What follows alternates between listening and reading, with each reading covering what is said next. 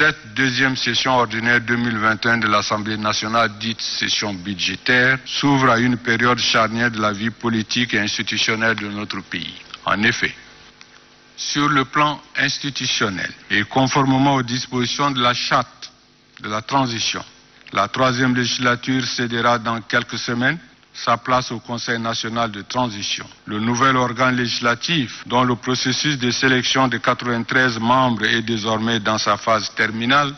au niveau de l'Assemblée nationale, avant la mise en place du Conseil national de transition, le rapport bilan de la troisième législature a été finalisé et des dispositions pratiques ont déjà été prévues pour assurer un passage de relais dans les meilleures conditions à la nouvelle institution. L'objet de notre deuxième session ordinaire 2021 qui s'ouvre aujourd'hui. L'Assemblée nationale procédera à l'examen de la loi de finances de 2022 et d'une proposition de loi portant réglementation de l'activité de transfert de fonds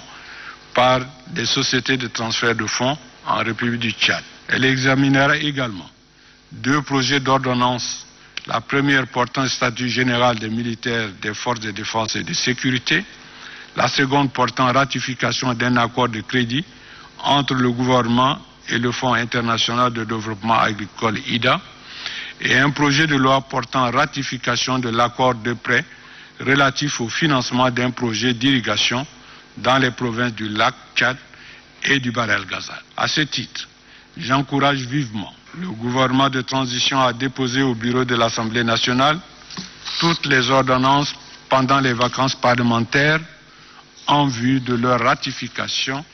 et de leur conférer une valeur législative et éviter une insécurité juridique. L'Assemblée nationale continuera à exercer sa mission d'information à travers les questions et des interpellations de certains membres du gouvernement de transition sur des sujets précis et d'actualité.